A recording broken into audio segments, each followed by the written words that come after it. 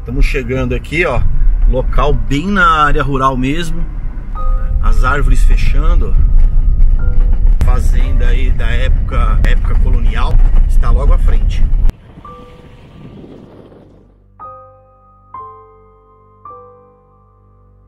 Ali é a antiga fazenda São João, tem o casarão lá. Olha isso, o morcego, cara. Plena luz do dia, pendurado. Ó. Bom, nós já entramos ali nos porões, né? Agora nós vamos subir as escadas. Vem comigo.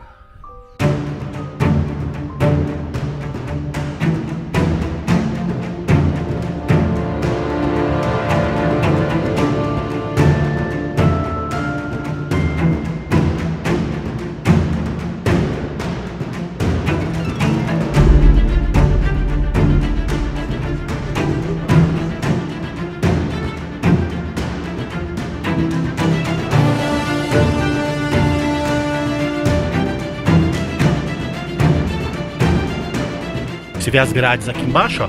Não tinha como fugir, ó.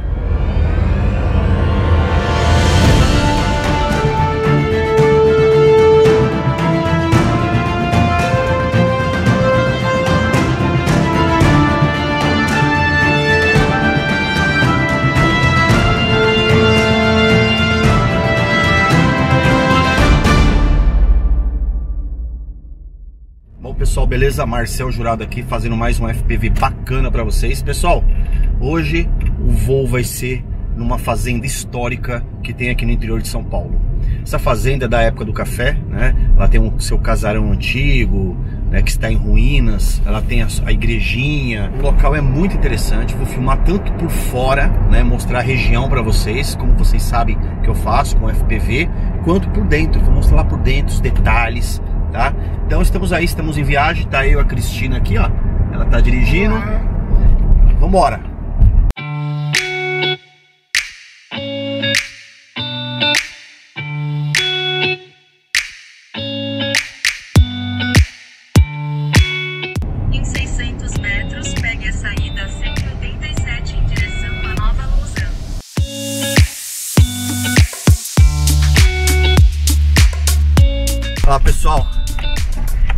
Chegando aqui, ó, antiga fazenda São João. Tá lá embaixo a casinha lá, tá vendo? Bem no meio rural. Por aqui tem umas colônias dessa fazenda, né?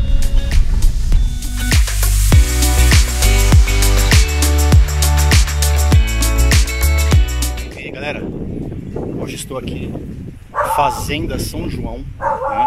Fazenda São João do Leite. Esse é o nome da fazenda.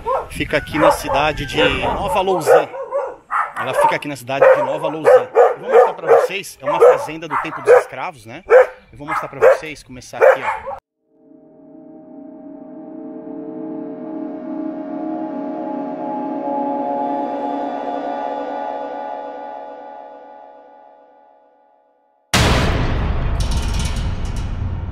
Olá pessoal, olha aqui de novo Marcel fazendo mais um FPV bacana para vocês. Vídeo novo no canal, galera, e no vídeo de hoje vou mostrar para vocês uma fazenda da época dos escravos e contar a história de Nova Lausanne, uma vila de colonos portugueses que vieram substituir o trabalho escravo no final do século XIX.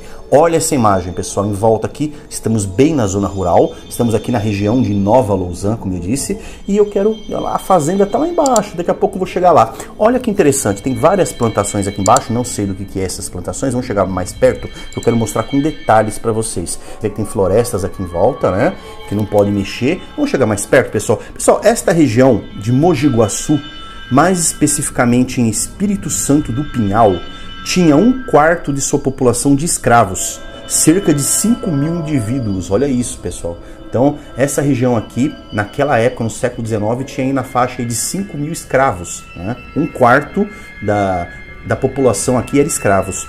Esta é a curiosa história de um português chamado João Elisário de Carvalho Montenegro. Ou eu posso dizer também Comendador Montenegro. Olha isso aqui, galera. Isso aqui são plantações, olha só. Vou chegar mais perto aqui para ver que tipo de plantação que é essa. Eu não conheço muito. Opa, olha isso, vocês viram o pássaro passando? Meu, a sombra era grande esse pássaro, hein? Vocês viram? Rapaz, vamos chegar mais perto aqui para ver. Eu, eu, tenho curiosidade aqui de saber que tipo de plantação é essa. Se vocês sabem, se vocês sabem que plantação que é essa, Põe aqui nos comentários, eu não conheço muito a respeito, né? Vou chegar mais perto aqui. Olha que delícia, cara, voar assim, ó. Tá vendo? Que gostoso voar aqui no meio da plantação. Meu, muito legal. O drone realmente, o FPV traz essa sensação muito gostosa. Pessoal, antes de continuar essa história, eu tenho algo importante para falar para vocês. Se vocês gostam dos meus vídeos, dos vídeos que aqui do canal, né, e você quer fazer parte dessas aventuras em FPV, que é visão em primeira pessoa, ou mesmo se vocês curtem lugares turísticos e históricos e querem conhecer de uma maneira diferente, de uma forma como você nunca viu, eu vou fazer um convite para você. Se inscreva no canal agora para não perder mais nenhuma aventura. E com isso, lógico, vocês vão ajudar o canal a crescer. Se inscreva no canal e faça parte desta grande aventura. Chega mais perto aqui, olha, que agora a gente consegue enxergar direito. Vocês sabem? Se alguém sabe que plantação é essa, coloca aí. Vocês viram as folhas? Olha lá, tá vendo? Vou chegar mais perto aqui. Opa, descer um pouquinho mais. Rapaz, meu, passou pertinho agora, hein? meu, vamos continuar. Ó, a fazenda está lá na frente. Né? E aqui, como eu disse, uma plantação. E eu quero passar aqui no meio das árvores e chegar até a fazenda, que eu quero contar essa história para vocês, pessoal. Essa fazenda que eu vou mostrar para vocês chama-se Fazenda São João do Leite. Enquanto eu conto a história né, do Comendador Montenegro, eu quero mostrar essa fazenda para vocês, que é uma fazenda aqui da região de Nova Lausanne e que é do tempo dos escravos, foi construída pelos escravos. Pessoal, a figura central dessa história é o Comendador Montenegro, nascido no município de Lausanne. Lausanne é uma vila portuguesa do distrito de Coimbra é um vilarejo medieval de Portugal. Olha só as fotos, tá vendo? Realmente um lugar muito bonito. Essa aí é a cidade natal do Comendador Montenegro. E ele, que ele fez? Ele deu o nome de Nova Lausanne, né? É, em homenagem ao local, né? Sua terra natal. E trouxe também a maioria dos colonos aqui era de Lausanne, né? Era desse local. É, o João Elisário de Carvalho Montenegro chegou no Rio de Janeiro em 1840 e ainda tinha 16 anos. Ele fez muito sucesso na carreira como caixeiro viajante, mercador ambulante. Né? A gente conhecemos como mercador ambulante. Ficou muito conhecido na época como o rei dos viajantes. Tá vendo? Olha isso, tá vendo? Essa aqui é a estrutura, é uma das estruturas aqui da fazenda você vê que ela está realmente é, bem deteriorada. Eles ainda utilizam os boizinhos aqui, tá vendo? Os boizinhos, eles utilizam ela para deixar os boizinhos pastando por aqui, né? Eles utilizam essa construção antiga. Essa aqui é a parte dos bois, né? Onde ficavam os bois. Eu vou mostrar daqui a pouco o casarão para vocês, pessoal. Olha ali, tá vendo? Olha o detalhe ali. Olha essas paredes, tá vendo essas paredes aí, todas em pedras? Foram feitas por escravos. Olha que interessante. Então, fique aí que eu tenho muita história ainda para contar para vocês, pessoal. Em 1867, é, ele resolveu investir seu capital na compra de uma propriedade em Pinhal, interior de São Paulo, e colocou em prática suas ideias sobre a melhor maneira de se administrar uma exploração agrícola cafeeira na época. Olha que bacana, vou chegar mais perto aqui. Olha isso, que árvore estranha, né? vou passar por aqui. Como eu estava dizendo para vocês, Nova Lausanne foi o nome que ele escolheu por causa da sua cidade natal. Antes dele chegar aqui, era chamada de Fazenda Palmeiras. Olha que interessante. Então, aquela região que eu mostrei para vocês lá do alto, o nome aqui era Fazenda Palmeiras, isso no, no século XIX. Olha só, chega mais perto aqui, ó. Essa parte da estrutura realmente está toda acabada já, tá vendo? já acabou, o telhado não existe mais, as árvores já tomaram conta, né? Nova Lausanne, pessoal, foi importante não só pelo desenvolvimento da agricultura, mas também pelas relações de trabalho que proporcionou na época, né? Inéditas na região, que deram um, uma grande contribuição para a ebulição dos escravos no Brasil. Então, a maneira que o sistema era feito aqui contribuiu muito para a ebulição dos escravos. Vocês vão entender ao longo da história. Olha isso, eu quero mostrar essa parte aqui para vocês. Essa parte aqui, tá vendo ali? Eu tô vendo uma estrutura aqui, ó. Chega mais perto, descer, e você vê que a região em volta realmente tem vários morros, né? Nós estamos bem no meio dos morros aqui, galera. Chega mais perto aqui, ó. Cara, que estrutura é essa? Coisa, cara. Chega mais perto, toma cuidado. Olha isso. Rapaz, se vocês conhecem, põe nos comentários se vocês sabem o que, que é isso. Para que, que eles fazem isso aqui? Para que fizeram? Isso aqui é antigo. Vocês veem que isso aqui é bem antigo, ó, tá vendo? E perdido aqui no meio da mata. Olha isso, galera. Realmente muito interessante, né? Se vocês conhecem isso aqui, se vocês sabem o que, que é isso aqui, põe aí nos comentários, põe aí, muito legal. Eles fizeram tipo um. É um quadrado, né? Parece que eles colocavam alguma coisa aí dentro, né? Pessoal, os trabalhos dos imigrantes já vinham crescendo desde que entrou em vigor a Lei Eusébio de Queiroz em 1850. né, proibindo a, importação dos escravos nos navios transatlânticos que vinham da África. O sistema que Montenegro implantou aqui foi o de pagamento de salários. É interessante, né, galera? Coisa impensável na época. Geralmente os colonos vinham com sistemas de parceria, né, com os donos da terra. Esse sistema de parceria baseava em contrato que faziam com a família, né? Davam a eles um certo número de pés de café para o cultivo, descontando aí as despesas de transportes, adiantamentos que eles pegavam para se manter durante um tempo, né? E os recursos para a instalação inicial. Então, pessoal, a família já chegava aqui com uma dívida gigante. Olha isso. Opa, o que, que é isso aqui? Meu, isso aqui é um curralzinho, olha, olha só, chega mais perto aqui, ó. Tá vendo essas pedras empilhadas? Essas pedras empilhadas foram todas empilhadas pelos escravos, tá vendo? Foram todos os moradores aqui, conversei com os moradores aqui em volta e eles disseram para mim que todas essas pedras aqui foram empilhadas por escravos daquela época. E vocês vão ver daqui a pouco, vou mostrar os porões, né? Tem o casarão muito lindo que vou deixar por último, eu quero mostrar os porões para vocês. Né? Vou chegar mais perto aqui, o que é isso aqui? Olha isso, cara, que é isso? Parece ter umas letras aqui, ó. Esse casarão é bem antigo, hein? Olha isso. FSJ 1919 SSL. O que será isso, cara? né? Não faço nem ideia o que é isso aí. Vamos chegar mais para cá? Quero mostrar essas partes, essa parte de trás, ó, que é um espaço bem grande, né? A parte de trás da fazenda São João, que bacana a caixa d'água lá embaixo. E aqui, pessoal, peraí, peraí, o que é isso? O que é isso, cara? Meu, não acredito, cara. Deixa eu mais pertinho aqui pra ver. Não, não pode ser. Cara, é um morcego. Tem um morceguinho aqui pendurado aqui, ó. Rapaz, olha isso. Meu, ele não se mexe. Cara, não, não acredito. Ele tá, cara, esse morceguinho tá morto, não é possível. Tá vendo? Olha lá, olha lá. Rapaz, tem um morceguinho pendurado aqui, plena luz do dia, né? Muito interessante. Pessoal, como eu estava dizendo, né, a família, as famílias já chegavam aqui com uma dívida gigante nesse sistema de parceria. É, e esse sistema não atraía muitos colonos que vinham da Europa. A principal desvantagem desse sistema era a incerteza de lucros que os colonos iam ter. Com isso, prometendo um salário fixo, essas desconfianças acabavam. E este é a parte de trás do casarão, né? Do casarão aqui da fazenda São João do Leite. Olha só que bacana. Tá vendo ali? A gente consegue ver algumas coisas lá dentro através do vitrô, tá vendo? Daqui a pouco até o final do vídeo eu vou mostrar para vocês tudo lá por dentro. Eu entrei aí dentro, vou mostrar cada detalhe e agora eu quero mostrar para vocês aqui por fora, os detalhes aqui por fora, de uma maneira que só o drone realmente consegue proporcionar. Tá vendo? Tem umas vegetação aqui cobrindo os telhados. Opa, olha essa janela que interessante, bem comprida, né? Até parece que eu vi um negócio branco ali. O que, será? Acho que não era nada não. Continuar aqui, ó. Tá vendo? A escadaria, tem uma escadaria. Olha a arquitetura. Olha só que bonita essa arquitetura, galera. Tá vendo? Ali ó, você vê a porta, os batentes, né? Você vê as portas em arco, cara, realmente muito bacana. É realmente um tesouro aqui perdido aqui no meio da zona rural. Muito. E agora eu quero mostrar para vocês, tá vendo essas janelinhas aqui, ó? Tá vendo? Essas janelinhas, pessoal, são as grades lá do porão onde ficava a senzala isso mesmo, daqui a pouco eu vou mostrar com detalhes para vocês. Pessoal, se dizia que Nova Lausanne era antes de tudo uma família do que uma colônia. E isso a diferenciava de outras propriedades. Olha só, e olha que bacana esse lugar, galera. Vamos chegar mais perto aqui. O próprio imperador Dom Pedro II. Opa, opa, rapaz! Meu, vocês viram? Cara, tô fazendo jardinagem aqui nas plantas, cara. quase, cara, quase o drone cai aqui. Pessoal, o próprio imperador Dom Pedro II visitou Nova Lausanne. Apesar da visita e do parente interesse, o governo não chegou a estimular a continuidade do projeto. Eu vou mostrar para vocês agora uma foto do Montenegro. Uma curiosidade, ó, tá vendo? Eles têm uma biblioteca no nome dele, tá vendo? Hoje existe uma biblioteca municipal com o nome do comendador Montenegro. Olha só a importância que ele teve, né, galera? Como eu estava dizendo, né, o imperador Dom Pedro II visitou esse local. Toda essa iniciativa colocava Nova Lausanne em uma situação de contraste, comparando com as outras fazendas. Olha só, olha que bacana. Tá vendo ali, pessoal?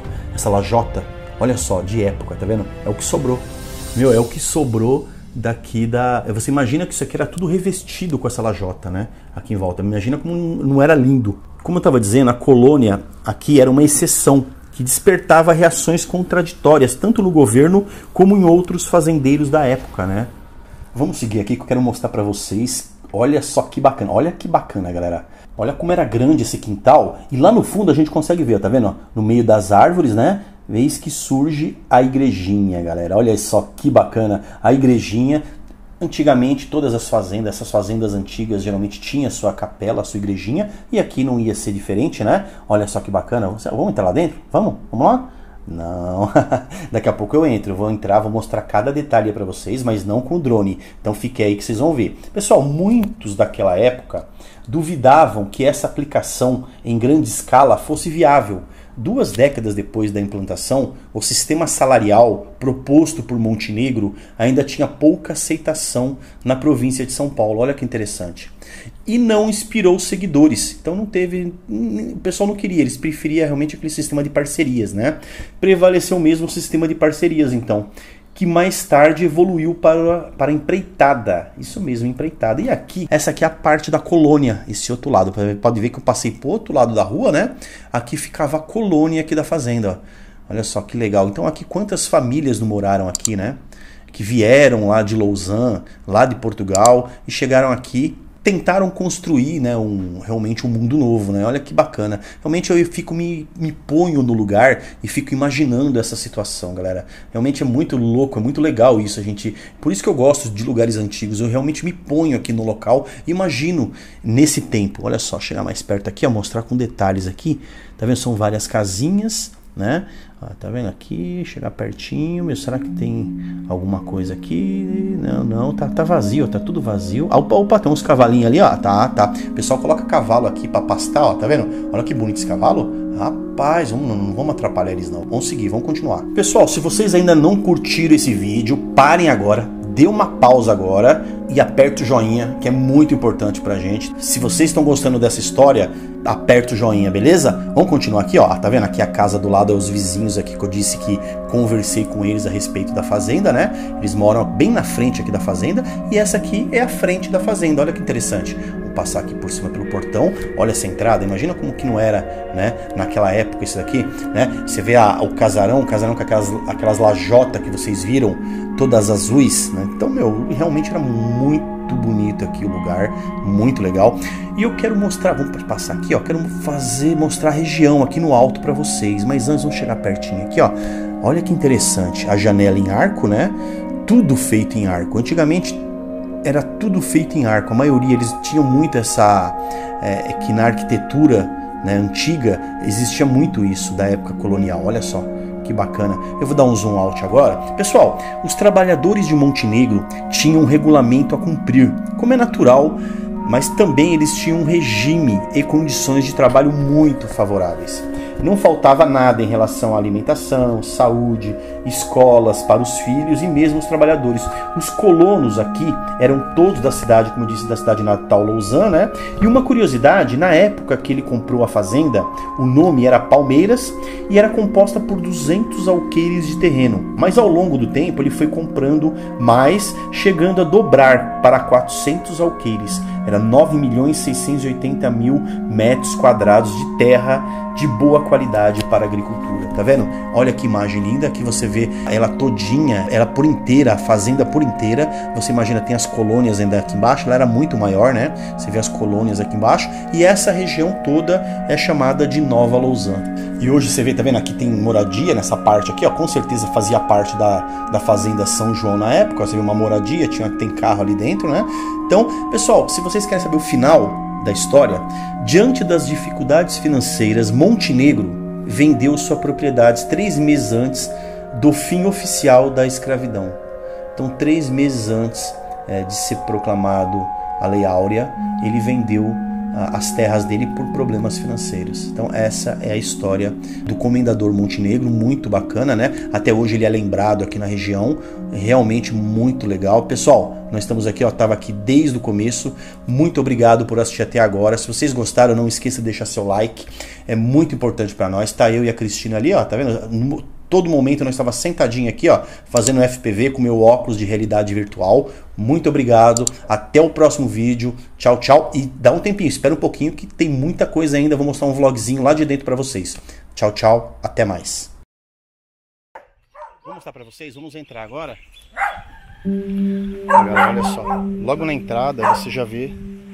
Olha o tamanho dessas desse muro, né, que foi construído. O portão, ó. O portão é bem diferente.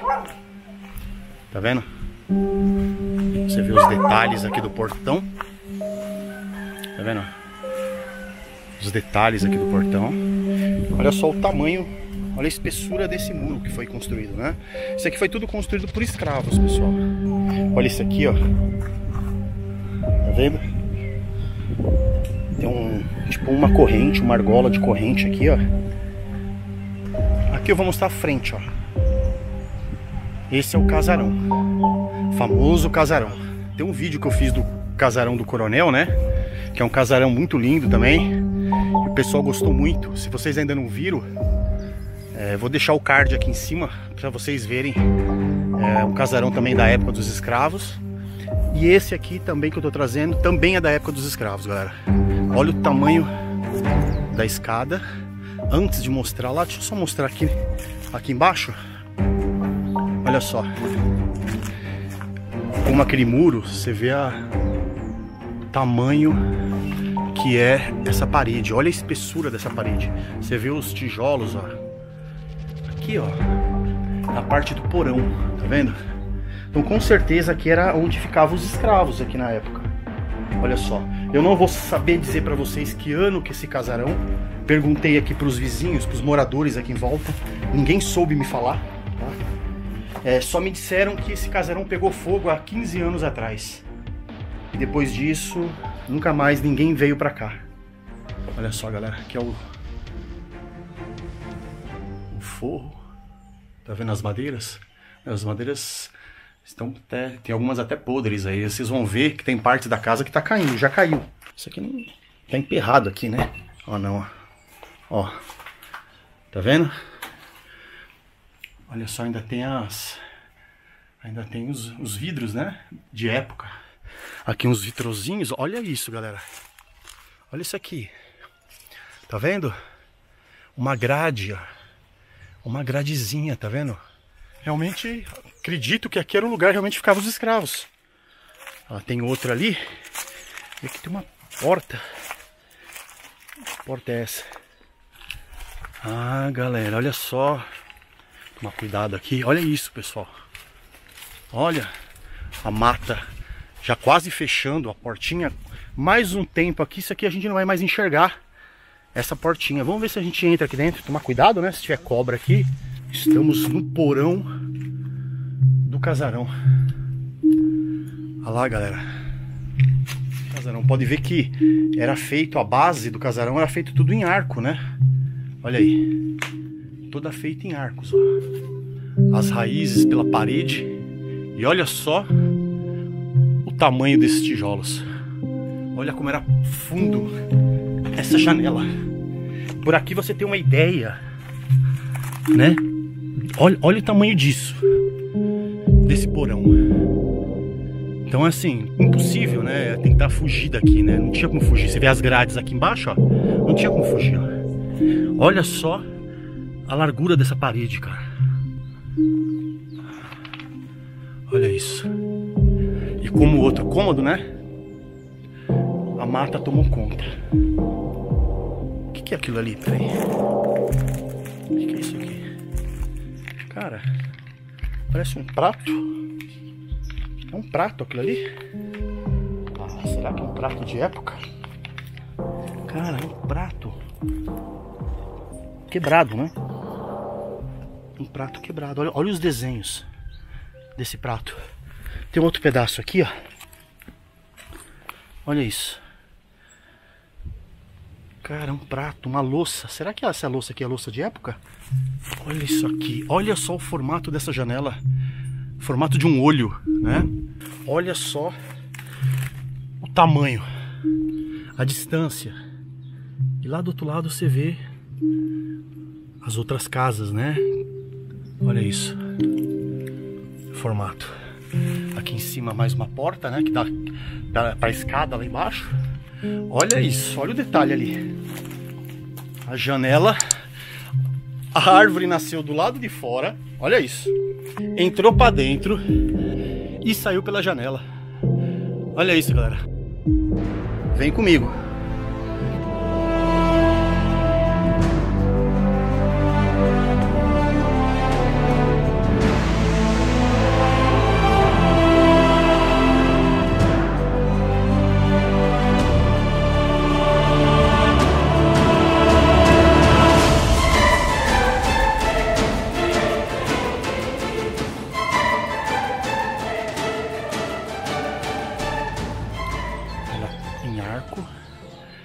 Cima o terraço.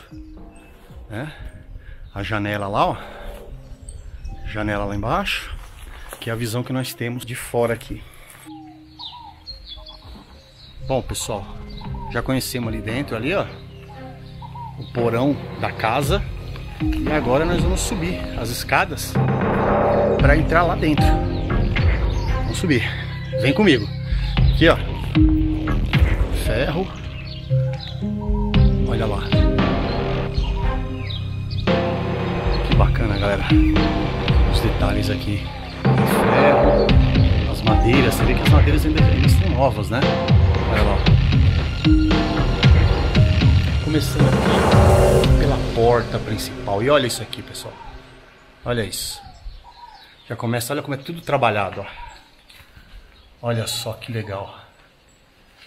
Realmente se fazia com mais gosto, né? Parece que o pessoal fazia as coisas tanto para durar bem, né? Durava muito as coisas de antigamente, como eles tinham mais criatividade, tinha mais gosto, era tudo mais bonito, mais ornamentado, né? As madeiras, o trabalho que eles faziam nas madeiras. O que será que isso aqui era? Tem um armarinho aqui, ó. Né? Pelo menos o que sobrou do armário, né? Olha lá. Tá vendo? Aqui é a janela, mais uma janela. Aqui um, uma entrada de ar, né? Olha isso. E olha esses azulejos, pessoal. Olha isso. Olha que bacana. Olha que bacana esses azulejos. Aqui tinha azulejo aqui, ó. Inclusive tem um aqui. Ver se tem alguma data aqui. Matarazzo, Made Brasil, 1179. Olha isso. Tá vendo aqui? Que geralmente eles colocavam aquelas santinha, né? É lugar assim para pôr santa. Se é isso mesmo? Se vocês sabem, coloca aí nos comentários. Aqui, ó. Olha só o banheiro, pessoal. Olha que bacana, galera. O banheiro. Aqui tinha uma pia privada, aqui é o chuveiro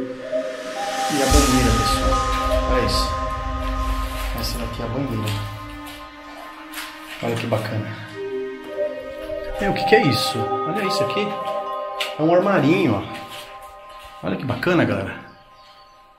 Um armarinho. Olha só os detalhes da madeira.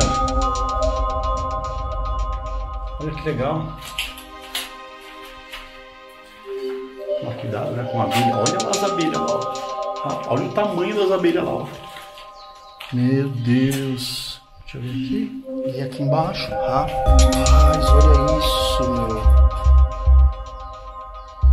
Tem uma escadinha aqui, ó, mas tem um colchão ali embaixo, né? E aqui tá tudo caindo, ó. As madeiras todas podres, ó. Será que dá pra pisar aqui? Será que eu não vou cair? Olha isso, galera. Quantos anos, hein?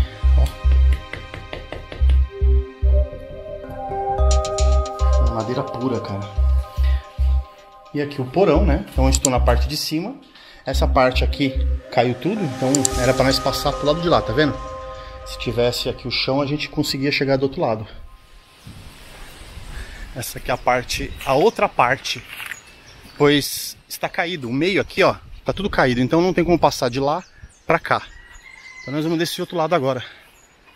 Né? Aqui eu já mostrei para vocês aqui dentro. Eu vou mostrar para vocês aqui agora. Olha só. Vou mostrar essa outra parte para vocês. Eu vou. Vamos subir aqui para ver.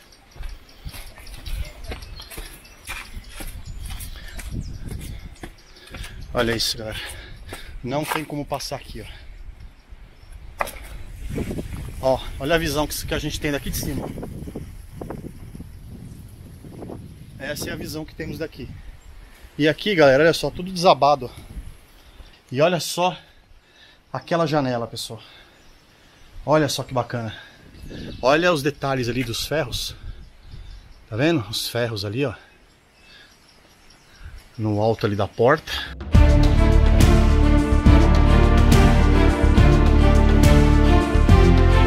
E os moradores me disseram que foram os escravos que construíram isso aqui.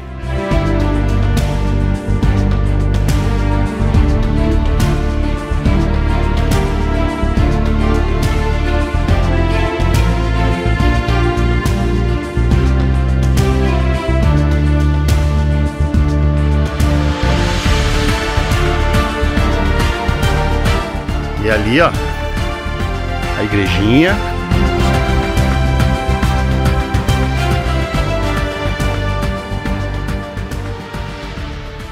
Bom, pessoal, como toda colônia antiga, né, como toda fazenda antiga, existia na fazenda, é, existia sempre uma igrejinha, né?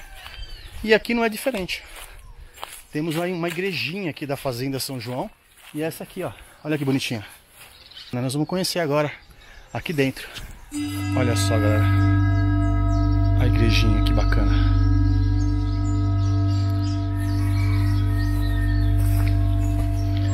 as janelas, ó, patente da janela. Aqui, ó, o batente da porta. E olha só, pessoal, olha aqui dentro. Tem até uns quadros na parede, ó. Olha lá. Tem uns quadros na parede, cara. Olha lá, tem uma imagem de Jesus. Os banquinhos, ó. Tem os banquinhos aqui daqui.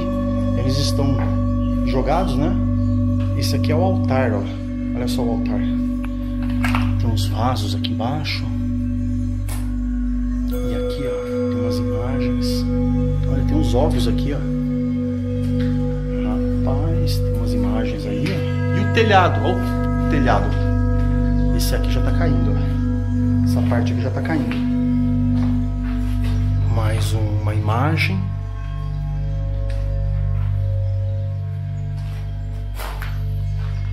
outra imagem ali, ó.